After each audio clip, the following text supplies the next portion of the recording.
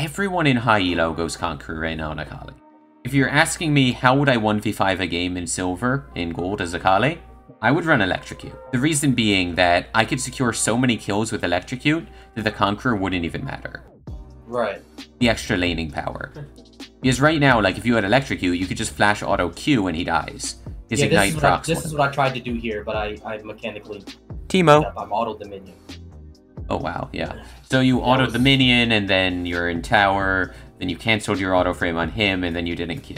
It's not that I'm telling you that Akali should run Conqueror, should run Electrocute, it's that I want you to think about it and maybe try it out for a game in both ways, because Conqueror is honestly not good in early game. And a lot of what you were saying about how you feel like you need to pressure, feel like you need to roam, that's telling me you have a problem with playing champions that are weaker in early. You hit me in the feels because I was thinking about that yesterday. I, I was like, I suck at scaling champions. Yes, like, Like- Conqueror Akali, you know the whole point of Conqueror. It's to get that Gunblade, it's to get that like one item, two item spike, you get Morello, you get Liandry's, and now you're an unkillable split pushing monster. What sounds more appealing to you? Being someone that's unkillable in a split push? After 20 minutes or 15 minutes, whatever, right? Yeah. Or someone that gets 5 kills in lane because they have extra burst to kill their lane opponent because they're bad. The Which one of those appeal more to your playstyle, you know? The second one, yes. Basically, just making. It. It's not that. I think Electrocute Akali is better, but it's that I think Electrocute Akali is better in this Elo range with your playstyle. You understand? Yeah, that's what I want to hear. What's better in my elo? In your yeah. Elo, I think that damage is more important than a split push that might not happen because maybe people are too tilted. Why did I take this cube? That that's retarded. Why did I do that? I took it into a massive win. So this was stupid, but mechanically it was played wrong. So here, you cancel your auto, then you don't use Q as it comes back up. After you should use this Q, you would get move speed, and it would enable you to walk this way. So you Q again, and you get a move speed buff off your Q. That being said, like, this was... I mean, it's just not a trade you want to take, you know? This was very bad. Yes, very bad. Because now you're in a situation where if he just Qs you, you die, but you have this big wave coming in, and you know what I'm getting at. Yeah, I get you. Yeah. And it's not that this gangplank is playing super well. You understand, like, this is all caused by this thing, and then this mistake. shot. So, like, this is two mistakes, and then he walks into the tower and he takes a shot, and now he's scared of doing the play on you. And it's like, well, you're making mistakes, and he's making mistakes, and there's mistakes all over the place, right? Right. But that's what I'm trying to tell you. Everyone is making so many mistakes that if you just punish a few of them, if you don't make quite as many yourself, I mean, do you just win every game pretty much? Yeah. You know? Like, why... It's just very strange. Like this, for example, right? He should have just backed. Like he had it. Like, he had the lane 1 already. Even here, he can instantly just use ult when you go in. He can do an attack move on the ground and it will hit you even if you shroud. He can ult, it will proc your sheen, right? He doesn't need to use Right. Q. Like, to me You at least, I think your Eing in here was actually inting, but I think that he didn't res- respond to it correctly. So, um, That and that's the thing. Like that's a that's that happens. It the reason I do these things is because it happens on a regular basis. That's why I keep doing it because people are terrible. yeah, but it's both sides. Like, you following this E in high elo, this would have been terrible, but in low elo, it's kind of okay, you know? Yeah. Because you can almost expect they're going to outplay themselves. But Unfortunately. yeah, I, I get what you're saying. I get what you're saying. yeah. I get what you're saying as in this, as in the aspect of I can do this same thing, but I can also do it smart.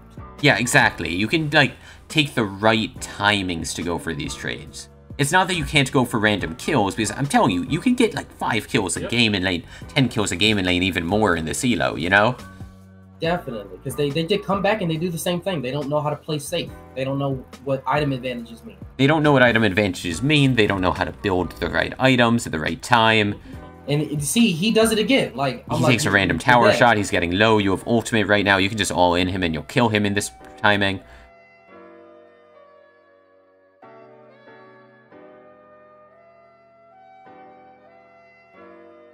And now, does it even matter that you have 30 CS and took those poor trades earlier? But now you're ahead, like 100 gold, you know? But I could have done all of that. I could have done this exact same thing, but a smarter way of. But you could have done this exact same thing slightly better, had 10 more CS maybe, be 2-0 or 3-0 instead of 2 and 1, you know? And how does this look to you? Does it look like, oh, if I had that, if I had an extra longsword right now, if he had not this ruby crystal, right? If he only had the Sheen and longsword, don't you think it would have been a lot easier to solo carry the game? Ex- yeah, exactly. Definitely. A lot easier.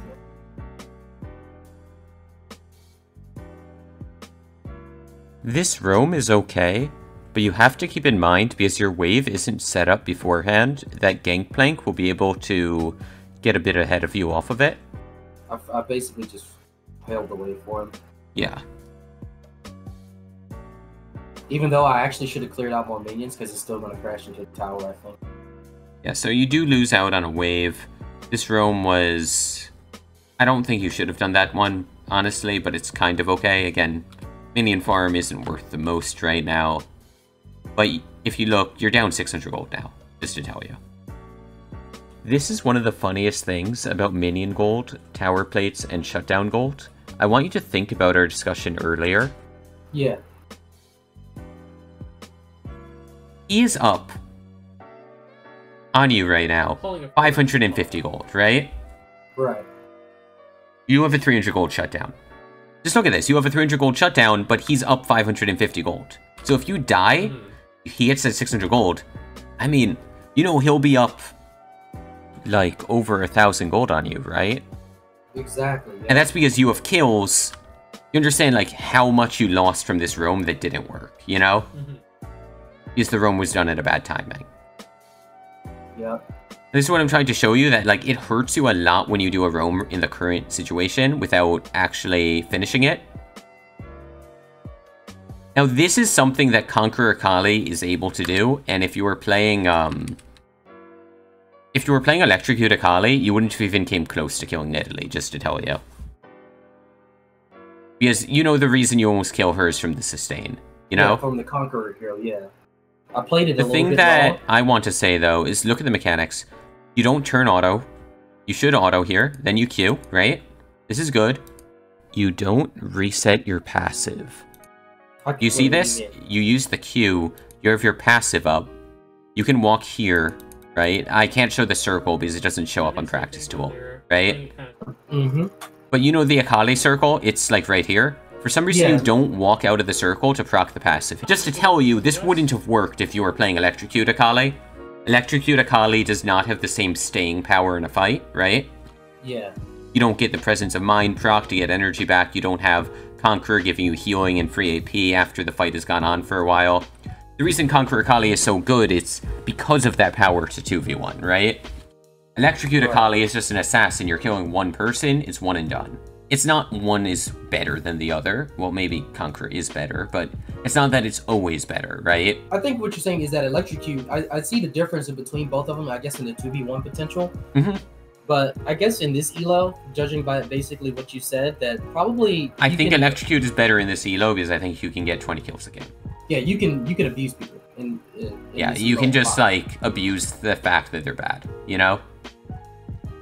Yeah, and see, this is what I'm talking about here. Like, he instead of freezing the wave, I, I think I don't think I was in I was in uh, watching top lane when he did. Yeah, that's why I took that barrel. But instead of freezing the lane here and, in denying me because I have no ulti, I have no flash. He just like, shoves it in. He just shoves it in. Like I'm mm-hmm. like, dude, like you're Teemo in your own lane right now. Yeah, because you can't walk up to him at all. Exactly, I can't, and he's still just pushing. If you don't have ult, you can't fight him, and he's still going to just Bush, for some reason, he's not using the move speed to run at you with a Q, you know? Yeah, I used to be a Gangplank main when I first started, so I know how to play this matchup because I'm like, why isn't he just auto with the Phage and run up to me and Q me? I actually think Gangplank counters Akali really hard. Personally. He does. Because I think he's a bit too tanky for Akali to kill in the early game. I think in mid-late game, Akali is going to pretty much always this, be This Gangplank. is how bad this GP is, look. Okay. I'm like, what the Teemo. fuck is this shit? He's trolling. What? He throws out another one. I'm like, what the Teemo. fuck is he doing? I mean, it's 200 And then you get hit by it. Exactly. and then you walk back into it. All right. I'm like, Kayn, I, you see I'm not coming, right? Wait, And then you I- miss the tank minion. All right, I see, I see. And then you guys get the kill, and it works out. that's that's this Elo in a nutshell, dude. Yes, it is. Yes, it is. And for some reason, you have a red sweeper right now. Uh, because I was planning on roaming, but that didn't work out as planned. So normally, I would say actually for a roamer, green sweeper. I mean green ward, like warding totem. Just to take vision, like here, take vision, like here, right? Yeah. That's usually, or even ward the lane. I think that normally is more valuable for a roamer than having the red sweep. To have the knowledge of where people are, right? Right. I think a red sweep is great after laning phase. I just don't think it's worth giving up so much vision for your team by having a red sweep in the laning phase. Again, that's personal opinion, right? Especially Yeah. because in this elo, I don't think people really look at wards. They don't ward. I, I do it just because there are some supports that are smart. No, but even if they don't? ward, a lot of the times, if they see you on a ward, they don't react. You know? Mordekai's are ints. Yeah, but Mordekaiser I, I just walks into their tower, you know? They, they don't have mini maps, basically, right? Yeah, pretty much. Most people, they might look at their mini map once every 20 seconds. So, you know, if you walk bot lane, let's say you go over two wards on the way there, there's like a 50% chance they won't notice you. And pl- a lot of people don't play with sound on, so they don't hear the pings. They, they, That's they- true. Also, a lot of people have a bad habit of listening to music really loud while they play. Yeah, I like to hear my I like to hear my teammates ping. Even though I've actually been starting to get into a really, really yeah, that Darius is retarded. Um, he it, they I've gotten into a habit of just full full of full muting people, full full muting the game. Yeah. Like I play I play so much like I started to realize how yes you I am the most untiltable person in this game. I will say that and I say it proud. I don't tilt. Mhm. Uh, but at the same time, you'd be surprised at um how often how often people what people say subconsciously affect what you do. Yeah. Like, and then I started to realize that, and I was like, holy. Timo. Now that I'm full muting, I'm playing my game now. I'm Mhm. carrying now because I'm not letting these tilted. Timo. Yeah, affect the way you play. Exactly. So I was like, dude, this is OP. This is like a cheat.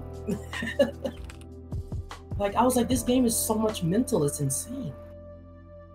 So, something I want to show you here is, again, the mechanics. Remember what we were talking about with uh, walking? So, you get this Q, but then you just walk forward. But remember, Akali gets a speed buff every time she lands a Q, and then every time she breaks her circle, right? Right. So, if you use this Q and then you step back to here, proccing the passive, then you walk forward again, you're going to have the move speed to chase him. But because you try to walk in a straight line forward, you don't get your passive proc. You see that? Yeah, I didn't get it. Yeah. So you get it when you walk away, but then you waste your E on Gangplank. And then you And don't use the passive there, you miss the auto, and then you don't have your passive up, so you can't get a passive off that Q, so you're missing another auto, right? So he should be basing right. And then you had ult, so if you did those auto, this auto and then Q auto, then you could have ulted and you're going to kill this guy, and these guys are low enough that you can probably kill them too. Yeah, I could have just walked up to Echo Art. Oh my god, there's so much I could have done. So like, here I see you getting like two kills, three kills, and instead it's like, oh, I'm backing off, I'm going for mid wave. It's like, Why didn't I kill him here when he walks up? What am I doing? I don't know, you could have just ulted in. But and then What like I you don't doing? walk you're not proccing your passive, man. Look at this. The same, right? Right. Right here, you walk up, right? You're walking up. And you're still walking up. You should walk here to proc the passive and then walk forward. Get the move speed buff, move you know? Yeah. And then you have R, so you get the move speed buff and then you R forward and get the auto. And then you E because your E will be up. And then you And won't with the R2, with the E2, Yes. right? Then he's dead. And he's just dead. Oh, and there's nothing he can do about it. Because you're Akali and you're OP, right? Right. But instead, maybe he dies anyway, maybe he doesn't, but you're tower diving him, and you go for one for one and burn your flash? Yeah, I thought I could make it out of there, but no. Yeah. But it's like, okay, you did it like this, but if you do it here, well, then you can use the R2 instead of into the tower to the side, right? And I could have saved my flash and not traded. And then you could have either saved your flash or you could have not gone one for one. Because remember what we talked about for one for oneing? Because of the way shutdown gold works. I don't think you had a shutdown in that instance, but if you did have a shutdown, one for ones aren't worth it, you know? And you lost this wave, so a one for one isn't worth it even if it's not a shutdown, right? And giving kills to GP is probably not a good idea. I mean, GP scales well, you scale well. It's not as much that as the wave, because you lost this whole wave off the dive. It's one for one, but wave advantage is on his side. Yeah, it's gonna push back to him now. Yeah, so he gets this farm too. And now you don't have ultimate and flash to fight this dragon, which um I think you're who got this dragon? Vayne got it? Okay, so your team got the dragon anyway. That was kind of okay, right? But that's not okay because of something you did, you know? Yeah. So now you're seeing you're 6 and 3, but maybe you could have been like 40, 50 CS higher than this. You could have had none of these deaths. You could have had like 4 or 5 more kills at this point, right? Right. So, quick question. I guess you Yeah. can pause it. Um, quick question. So, based on my playstyle, instead of Akali, would Fizz be a better option? Because I was thinking about that. Fizz is more similar to Talon, if that's what you're looking for. Yeah. Akali is more similar to Zed. Yeah, I was about to say because I a Talon playstyle probably is better for me. So I was last couple of days I started for some odd reason attracting towards Fizz. At the more I played Talon, Yeah. I just started thinking Fizz, Fizz, Fizz, and I'm like, why am I thinking Fizz? And I think I started subconsciously thinking that they have pretty much the same kit. They do the same thing. They Best run in. thing I could suggest for Fizz is if you want to see some gameplay of it, Brogan has been playing it a bit on stream in the last like week or two. Brogan. Brogan, yeah, on the like Henrik Harrison or something like that account. It's an NA challenger. Yeah, I, I saw it on OPGG. Mm-hmm. Hmm. Or, So, I mean, Fizz doesn't really have many mechanics. He just has the E flash, right? I'm sure you know about that. Yeah, I've done that before. Then when I was in silver. Yeah, so he, he doesn't have mechanics really. Actually, uh, Akali has a mechanic where you can R flash to move the damage. I don't know if you know that. I've never done it before. I'm pretty sure there were opportunities I could have done it, but I've never. Because like you can do your R2, right? And let's say there's a low health target here and here. You can R2 here, and then at the end point you can flash here and it'll hit both. Oh, that's crazy. So a couple times I've gotten like a double kill by doing something like that in a fight, you know? And at this point, like this game, it's not over, it's not like one-sided, but that's the problem I have. You know? My problem is precisely that it's not one-sided, that it's not over. That you're still in mid lane at 20 minutes instead of going to a side lane. Like what's the point of being mid at this point? Why aren't you top lane? Why aren't you bot lane? I'm just They- promoting ARAM basically. Yes, but what's the purpose of this? That's what I want you to get in the habit of asking. Ask yourself, why do I do something instead of just doing it? Yeah, because I'm I'm starting to see how Timo, like when you actually use your brain, like it's it's actually insane how this game may Mhm. not autopilot. exactly.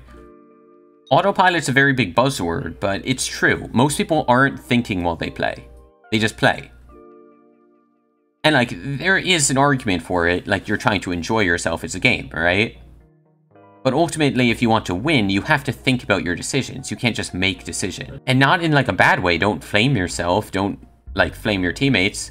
A mistake a lot of people make is when they get really good at the game, they start understanding the game really well, they get in a habit of flaming everything they think is wrong. You know? Yeah, I don't even type to my teammates. I might say it. I might say some flame Timo. to myself, but I don't. I don't show it in game. Like that is a. And that's the best very attitude to have, you know? Yeah, because Because honestly, it's hard to take it seriously when you know how many mistakes you yourself make to to take it seriously when you're pointing out the mistakes of others, you know? Yeah, I focus on my play. Like I've carried a lot of games off of that. Mm-hmm. Like if I'm doing this good based off of me being boosted as I am, imagine if I would have actually implemented Timo, that you Timo. Dude, I'd be giga. th- th- I wouldn't even be smurfing. I'd be giga smurfing. Like, I'd be going twenty and zero. Mhm. Like, like I'm, I'm have, I'm, I can, I'm starting to see, remember and see all the pointless deaths that I've had that have given the enemy team opportunities to come back into the game. And I'm sitting here thinking, well, my bot lane did go 0 about that? 13, so maybe that might be the reason. I no, you lost this game because you, you gave the bot lane that you could have shut down because they weren't really all that big. You gave them five different bounties when you were worth four or five hundred gold. No, this is this has been a thing for a while, and I think it's just started to come to light. That's It's just like people are, are finally starting to understand. And this is the thing where like there's different levels of expertise in the game and there's different levels of expertise on individual champions between different people. So, So, like, as a mid laner, An auto-filled player might play like very badly in one role or they might play very well and that depends entirely on how much they know about the game, you know? Right, right. That's crazy, dude. I've never thought about any of this Timo, ever. Like, it, it bothers me at the fact that I haven't thought about any of this. Like, why? I thought I was doing good. I mean you are doing good for your elo. But to Yeah. improve to the next level, you just need to think a bit more, right? Think a bit more. Yeah, and, and that's how it always works. pro- It's just a bit more. It's a bit higher. The thought process a bit higher. The decision making, right? yeah. I'm not going to 'cause tell you get 10 CS a minute. and I'm not going to tell you to get zero deaths in your games. I'm not going to tell you, hey, you have to play only the meta champions because that's not how this works. That's how it works at a very layman's level, you know? Exactly. Yeah, you can't. Maybe from a all- diamond player's perspective, that's how it works, but not for mine. I mean, dude, you've expanded my thinking to a point to where, Timo, dude, like I'm sitting here laid back. I was like when I first started this session, I was leaning forward. You know, I was chilling. Now I'm sitting back in my Timo. chair with my two fingers on my forehead. Like, what the? F-? Timo. Oh, funny enough about that, that you mention it. Um, couple little things about We lost this game because uh, I was trying to be that shot Mm-hmm. Mhm. caller for my team because I knew what to do, and they just didn't seem like they wanted to listen. I don't know if this because they were tilted or they were just because they were fed and they were like, oh, You're saying you know what to do, right? But yeah, this is mid lane, right? right. You guys have Baron. You guys have Infernal Soul. You have a wave coming into you bot lane. Why are you guys five manning mid instead of hmm. pressuring multiple lanes when you have a split pusher like Akali that no one can match? Well, I take that back. I'm a Timo, idiot. you see what I mean, right?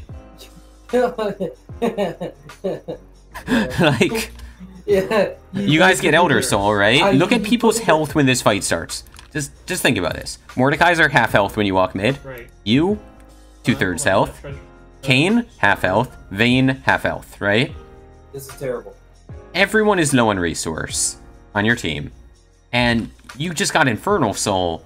Why don't you use the fact that you got Infernal Soul instead of throwing gold back? Like, right now, the game is pretty even. I believe after this fight, they get a bit ahead of you. I'm just gonna skip through it because I don't really care what happens in the fight. I care about the fact that the fight was taken at all, you know? It Now they're up 2.4k, right? So even when your teammates don't listen to you, you do what you know is right. Is so is it better for you to make a decent play, like because I've heard it's better to make a bad play with your team than to make a good play by yourself. That is true, but you can influence the bad decisions your team take to be like a bit less bad. What I mean by that is like, let's say your team is going to go here, right? Yeah. Let's say either way they're going to take a fight here. Which one is better? Taking the fight here, you going in immediately and dying, losing the Baron? Or you shoving a wave, you have Baron to shove with, right? right? So they kill your teammates, but then you're up to here, right? You have a Baron with you. They have to reset to answer, so they're in a choice. They either shove mid with two people, three people, they match you with one or two people. If they send only one, you're gonna dive them, right? You have Infernal Soul. Exactly. Yeah, I'm a I'm gonna kill you. if You only say I'm gonna kill you, you're in a 1v1 with against me, and I have an Infernal Soul. Well, what's better?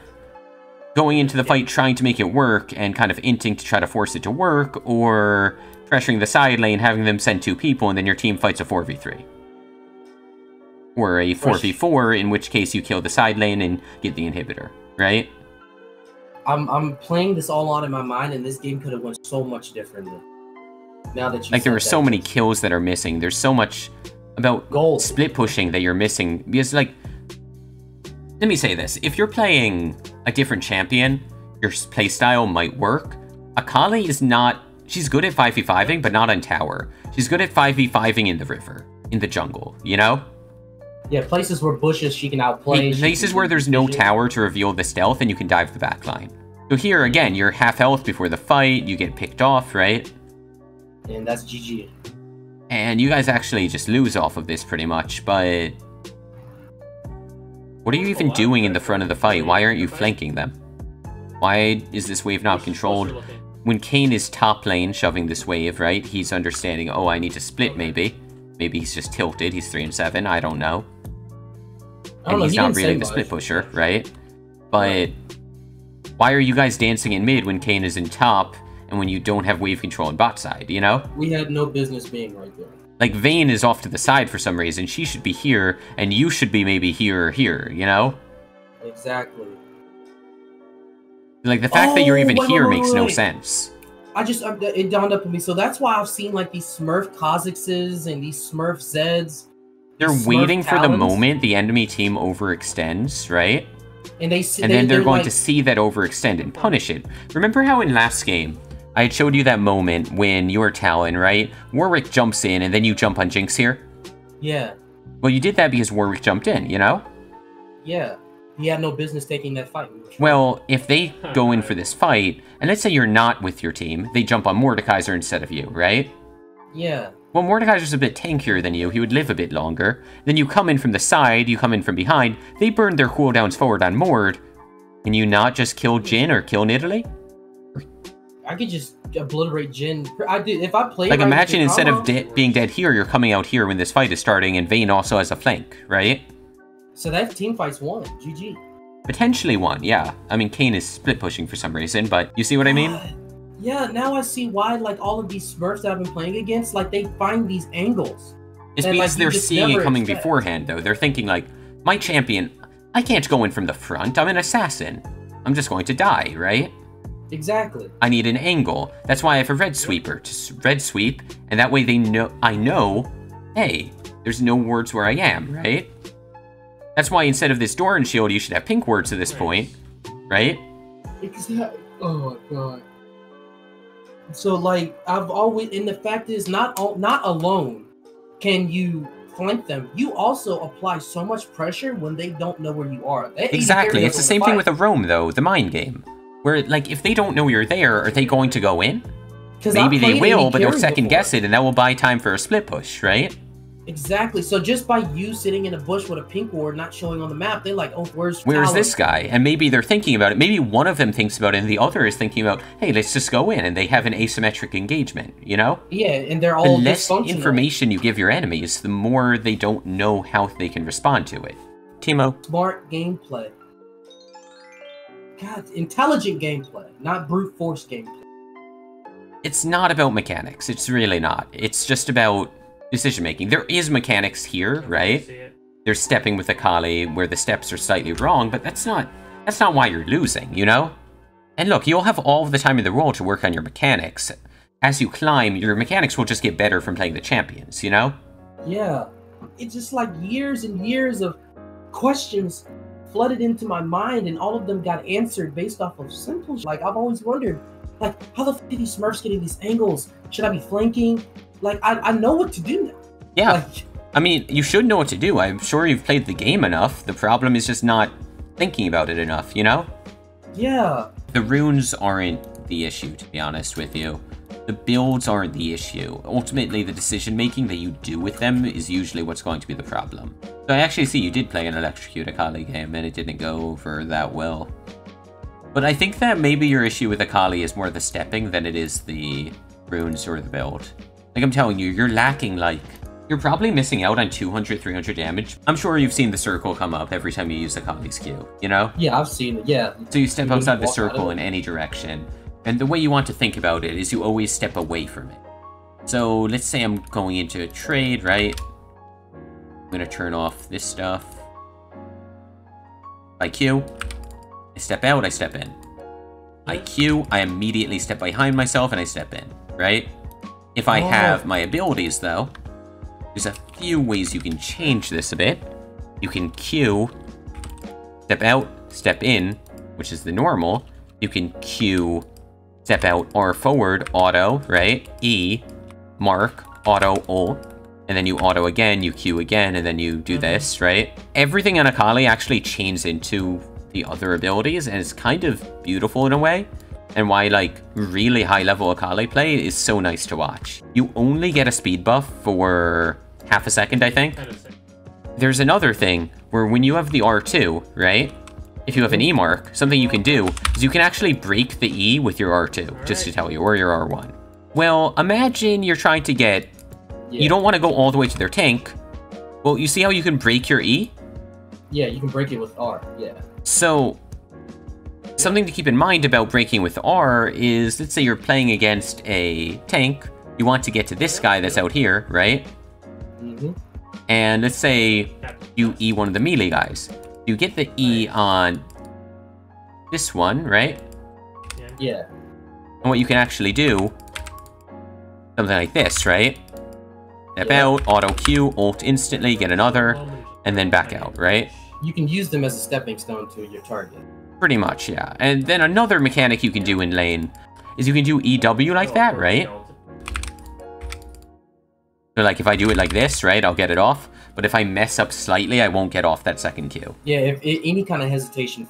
It's not that Akali's not broken, because Akali and Irelia, they're still really broken, but they're so hard to execute properly. because of the mechanical prowess. The reason Talon has such a good win rate, why Fizz has such a high win rate, even Malzahar has a really high win rate right now, it's because they're so simple, you know? Yeah, like I think right now, until you say that my micro is good enough, I need to focus as, you, as from those games. It's clear my macro, uh, my macro needs a lot of work, and my micro does too. But I feel like if I can get my macro, my micro will with it. Yeah. So the, I want to focus. I want to play a. I want to simplify my champion pool. If you need me, just message me on Discord anytime. I'll notice, like, probably the same day. Um, Good. usually pretty Trust- quickly. Sometimes it takes me a tiny bit because my, I might be busy when you first message me. Uh, it's all good, dude. Like I, I got a lot to chew on. I got a lot to work on. I got a lot. I have a lot. Yeah, no problem. So definitely, like, like, hopefully, on next session, whatever that is. That's pretty much it for today's session, right? We got a Yeah. two hour session through, and I think we covered quite a lot. I am. I hope this was, like, pretty useful for you. That this is beyond. What kind of question is that? It's like hearing it from like the horse's mouth. A mid laner that is high tier, current high tier, plays the game frequently every day. hmm Like it felt so good to hear that. It it it, it it's a confidence. Yeah, no Like problem. it's, it's amazing hearing it from someone who actually knows what I go through.